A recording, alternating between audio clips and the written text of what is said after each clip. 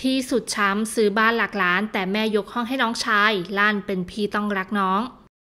สาวชาวไต้หวันคนหนึ่งได้ออกมาเปิดเผยเรื่องราว ว่าตนเองมีหน้าที่การงานที่ดี สามารถเลี้ยงดูตัวเอง แถมยังช่วยจุนเจือครอบครัว โดยการซื้อบ้านที่อาศัยอยู่ในปัจจุบัน เป็นจำนวนเงิน 2 0 0แสนหยวน หรือราว1ล้าน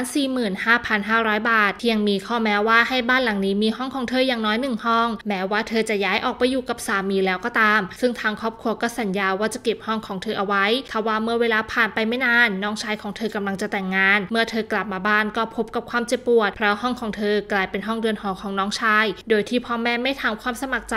หรือความเห็นของเธอสักคำเมื่อเธอถามถึงเหตุผลกับครอบครัวว่าทำไมน้องชายถึงได้ใช้ห้องของเธอเป็นเรือนหอ เหตุผลของแม่ก็คือห้องของเธอนั้นค่อนข้างใหญ่ และมีห้องน้ำแยก ส่วนห้องของน้องนั้นเล็กเกินไป และไม่มีห้องน้ำเธอรับไม่ได้เพราะคิดว่าไม่ใช่ธุระของเธอเลยสักนิดทำให้เธอร้องไห้ในทันที แต่แม่กับด่าว่าเป็นพี่ก็ต้องรักน้อง โดยเจ้าของโพนั้นได้กล่าวว่า ห้องของน้องนั้นเล็ก หากวางของตามมุมต่างๆ แล้วทำให้เดินยากอีกทางหลังจากที่น้องชายแต่งงาน เขาก็จะมีแผนย้ายออกด้วย ซึ่งเธอเสียใจมากที่พ่อแม่ลำเอียง โดยเธอกล่าวว่าฉันแค่โกรธที่แม่ไม่บอกฉันก่อน แถมยังโกหกกบเกลื่อน และต่อว่าฉันราวกับฉันเป็นคนใจแคบ